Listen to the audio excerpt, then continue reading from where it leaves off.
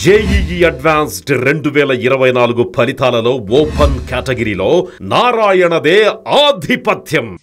రెండు వేల ఇరవై ఒకటి మే పద్నాలుగు నా పుట్టినరోజు నాడు జగన్మోహన్ రెడ్డి ఆజ్ఞ మేరకు పివి సునీల్ కుమార్ విజయ్ పాల్ అప్పుడున్న ఇంకొక అధికారి సీతారామాంజనేయులు వీరందరూ కుట్ర చేసి అప్పటికప్పుడు నా మీద రాజద్రోహం కేసు పెట్టి నన్ను ఎత్తికెళ్ళి కస్టడీలో టార్చర్ చేయటం సుప్రీంకోర్టు ఇన్వాల్వ్మెంట్తో నేను మిలిటరీ హాస్పిటల్కి వెళ్ళటం అదంతా అందరికీ తెలిసిందే.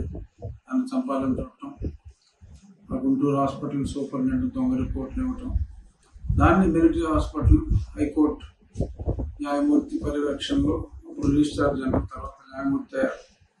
వారి పర్యవేక్షణలో జరిగిన రిపోర్ట్స్లో ఏం చెప్పారు ఇవన్నీ కూడా పెట్టి నన్ను ఏ విధంగా హింసించింది?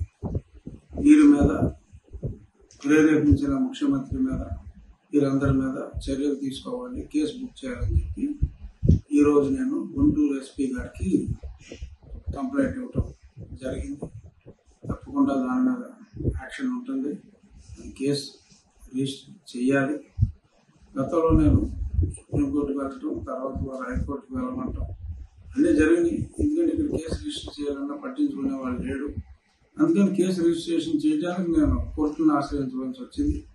ఇప్పుడు డైరెక్ట్గానే లా అండ్ ఆర్డర్ ధర్మ నాలుగు పాదాలు నడుస్తుంది కాబట్టి చంద్రబాబు నాయుడు గారి పరిపాలనలో. నేను నాకు న్యాయం చేయండి.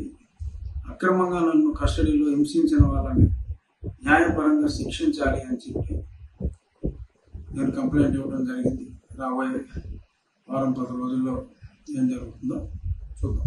సుమన్ టీవీలో మీ పర్సనల్ అండ్ బిజినెస్ ప్రమోషన్స్ కోసం కింది నెంబర్కి కాంటాక్ట్ చేయండి.